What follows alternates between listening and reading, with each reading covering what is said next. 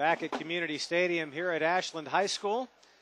It is the Division 6 Region 21 final. We're at halftime with the score Norwalk St. Paul 22, Ashland 15. Halftime band festivities are underway, and the Norwalk St. Paul Flyer Band is on the field.